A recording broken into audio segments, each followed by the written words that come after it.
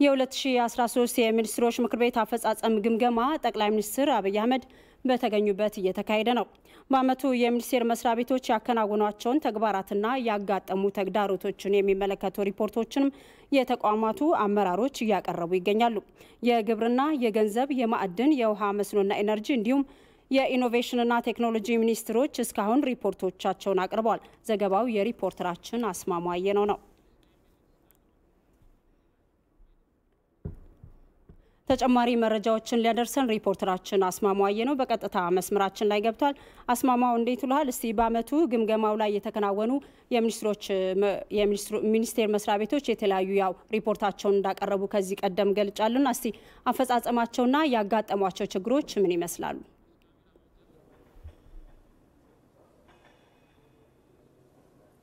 አመሰግናለሁኝ። እንግዲህ የሚኒስትሮች ምክር ቤት የ2013 ዓ ም የቅድ አፈጻጸሙን እዚህ በጠቅላይ ሚኒስትር ጽህፈት ቤት ጠቅላይ ሚኒስትር አብይ አህመድ በተገኙበት እያቀረቡ ነው የሚገኙት። ሀያ ሚኒስቴር መስሪያ ቤቶችም የ2013 እቅድ አፈጻጸማቸውን ያቀርባሉ ተብሎ ይጠበቃል። እንግዲህ ከዚህ በፊት ተመልካቾችም እንደሚያስታውሱት በኮይሻ ለመጀመሪያ ጊዜ በሚባል ደረጃ ጠቅላይ ሚኒስትር አብይ አህመድ ከካቢኔ አባሎቻቸው ወይም ከሚኒስትሮች ምክር ቤት አባላት ጋር በመሆን በኮይሻ በነበራቸው ቆይታ የስድስት ወር አፈጻጸም መገምገማቸው ይታወሳል። በዛ ውስጥም ሚኒስትሮች በስድስት ወራት ውስጥ የተከናወኑ ተግባራት ምን እንደሚመስሉ በኮይሻ በነበረው ስብሰባ ላይ አቅርበው ነበር። ያን መነሻ በማድረግም ጠቅላይ ሚኒስትር አብይ አህመድ አቅጣጫዎችና የቀጣይ ስራዎችን ሰጥተው ነበር። ያን መነሻ በማድረግ ባለፉት ስድስት ወራትና ከዛ በኋላ የተሰሩ ስድስት ወራትን በ2013 የተሰሩ ስራዎችን ነው እንግዲህ ዛሬ እየተገመገመ የሚገኘው። እስካሁን ድረስ ሰባት የሚደርሱ ተቋማት አቅርበዋል ማለት ነው። የግብርና ሚኒስቴር፣ የገንዘብ ሚኒስቴር እንዲሁም የንግድና ኢንዱስትሪ ሚኒስቴር፣ የገቢዎች ሚኒስቴር ከዛም ባለፈ ደግሞ የማዕድንና ኢነርጂ የውሃ መስኖና ኢነርጂ ሚኒስቴርን እንዲሁም የኢኖቬሽንና ቴክኖሎጂ ሚኒስቴሮች እስካሁን ባለው ሪፖርቶች አቅርበዋል ማለት ነው። በግብርና ሚኒስቴር በኩል የቀረቡትን ለአብነት ያክል ብናነሳ በዚህ ዓመት ውስጥ በ2012/13 የመኸር ወቅት ላይ የተመረቱ ምርቶች የታቀዱ የነበሩ አንጻር ሲታይ 3.5 ሚሊዮን ኩንታል ምርት ማምረት ተችሏል የሚል ሀሳብ ተነስቷል። ይህም ወደ 13 ሚሊዮን ሄክታር መሬት በሚደርስ መሬት ላይ በነበረው ማለት ነው። በበልግ ወቅት ደግሞ 2 ሚሊዮን ሄክታር በሚሆን መሬት ውስጥ 24.6 ሚሊዮን ኩንታል በላይ መሬት ኩንታል በላይ ምርት መመረቱን በዚህ ተነስቷል ማለት ነው። የቆላ ስንዴ በሚመለከት 15 ሚሊዮን ሄክታር መሬት ላይ ይህንን ለማምረት መሰራቱን ተገልጿል። 15 ሚሊዮን ኩንታል ምርት ተመርቷል የሚል ሀሳብ ተነስቷል። ይህም ወደ አራት ሚሊዮን ሄክታር አካባቢ በሚደርስ ቦታ ላይ ማለት ነው። እንደ አጠቃላይ በግብርናው ዘርፍ ዘንድሮ የተሰሩ ስራዎችን ተነስተዋል ማለት ነው። በዋናነትም አሁን በቀጣይም የሚከናወኑ ወይም በ2013/14 ደግሞ የሚኖሩ የመኸር ስራዎች በአሁኑ ወቅት እየተከናወኑ መሆናቸውም የተነሳበት አለ። በገንዘብ ሚኒስቴር በኩል በዚህ ዓመት ውስጥ አጠቃላይ የ336 ቢሊዮን ብር እቅድ ተይዞ 315 ቢሊዮን ብር ገቢ መሰብሰብ ተችሏል ወይም የገቢ ማግኘት ተችሏል የሚል ሀሳብ ተነስቷል ማለት ነው። የመንግስት የገቢ አፈጻጸሙ የዘንድሮ ዓመት ይህን ይመስላል የሚል ሀሳብ አነስተዋል ሚኒስትሩ። ይህም 93 በመቶ አካባቢ እንደደረሰ ድርሻውም የዚህም ወይም በፐርሰንቱ አፈጻጸሙ እንደዛ እንደሆነ አነስተዋል ማለት ነው።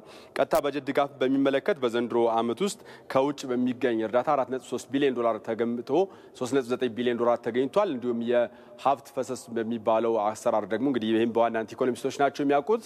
በዚህ ውስጥም 3.9 ቢሊዮን ዶላር እቅድ ተይዞ 3.1 ቢሊዮን ዶላር ተገኝቷል ከውጭ በእርዳታና በብድር የሚል ሀሳብ ተነስቷል። እንግዲህ ለዚህ ለ800 ሚሊዮን ዶላር አካባቢ ለሚሆነው ክፍተቱ ከእቅዱ አንጻር ላለመሳካቱ ምክንያት ተደርገው ከቀረቡት አንዱ የኢትዮጵያ ላይ እየቀረቡ ያሉ የውጭ ጫናዎች እንደሆኑ ይታወቃል።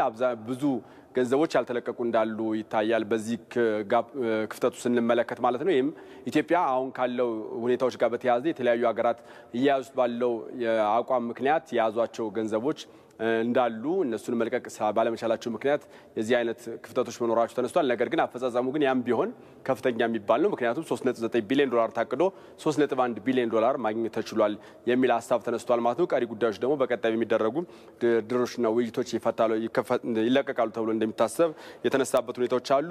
ሌሎች ሚኒስቴር መስሪያ ቤቶችም በዚህ መልኩ ሀሳቦቻቸውን ያቀረቡ ነው። በመስኖና ኤነርጂ ሚኒስቴር በኩል የቀረበው ሀሳብ ከንጹህ መጠጥ ውሃን ጨምሮ እስከ ትልቅ የህዳሴ ግድብን ጨምሮ የኤሌክትሪክ ኃይል አቅርቦትን በቀጣይ የሚዳረስባቸው ትልልቅ ግዙፍ ፕሮጀክቶችን በሚመለከት የውሃ መስኖና ኤነርጂ ሚኒስትሩም በዚህ ዓመት 2013 የሰሩ አፈጻጸሞችን አነስተዋል ማለት ነው። የህዳሴ ግድብ ቀደም ሲል ሲገለጽ እንደነበረው 80 በመቶ ግንባቱ ተጠናቋል። በእሱን ጨምሮ የኮይሻ የኃይል ማመንጫ፣ ሌሎች ፕሮጀክቶችም ግንባታቸው እየተከናወነ እንደሆነ ተገልጿል። ከዛ ባለፈም የኤነርጂ አማራጮችን ለማስፋት ሰርቷል።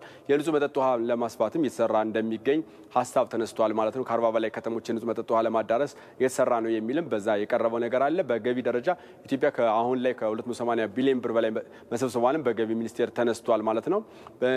እንግዲህ አሁን ባለው ችግር ምክንያት በትግራይ ያሉ ሊሰበሰቡ የሚገቡ ገንዘቦች እንዳልተሰበሰቡም በዚህ ተነስቷል ማለት ነው። አሁን ካለው ችግሮች አንጻር ማለት ነው። አጠቃላይ ጠቅለል ያሉ ሪፖርቶች ናቸው እየቀረቡ ያሉት። አሁን ሚኒስትሮች ይህንን ማቅረባቸውን ይቀጥላሉ። መጨረሻ ላይም ጠቅላይ ሚኒስትር አብይ አህመድ የ2013 አፈጻጸም አጠቃላይ የመንግስትን በሚኒስትሮች የቀረቡትን አፈጻጸም ገምግመው በዛ ውስጥ ያሉን ሀሳቦች ቀጣይ አቅጣጫዎችንም የሚሰጡ ይሆናል ማለት ነው።